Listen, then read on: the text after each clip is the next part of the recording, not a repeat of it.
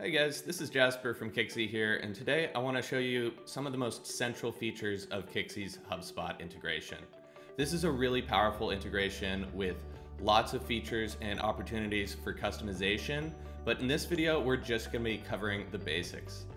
And so if you haven't already set up your Kixie HubSpot integration, check out this video for instructions on how to do that.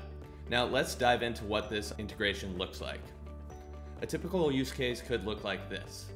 To place a call, just click the red click to call icon that appears next to all the phone numbers in HubSpot.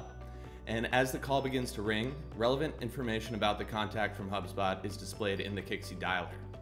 After the call ends, you can log an outcome in the Kixie dialer. You might want to send a follow-up text too, maybe using Kixie's SMS templates feature that pulls in custom fields from HubSpot. All of this information will be stored on the contact record in HubSpot and any associated deals or company pages in HubSpot. So if you don't already have the HubSpot contact record open, you can click the CRM link in the Kixie Power Call at any time during the call to go directly to the contact page in a new tab.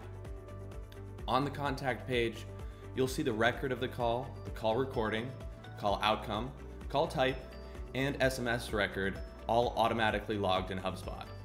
If you have Kixie's conversation intelligence feature, you'll get an AI powered summary of the call automatically logged to HubSpot as well.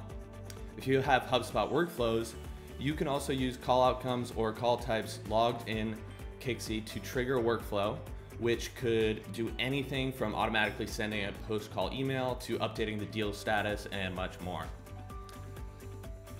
Again, these are just the basics to Kixie's HubSpot integration, so to learn more about customization, workflow automation, and more, be sure to check out the other videos on our channel and check out our library of articles and guides linked in the description below.